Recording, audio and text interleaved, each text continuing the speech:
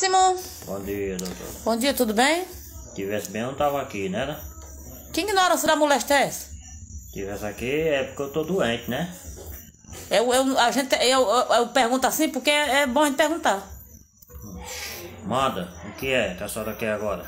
Não, quem joga sua doença é você. Diga aí o que, é que tu tá sentindo. Tô sentindo não. Eu tô com caroço e bato o sovaco aqui.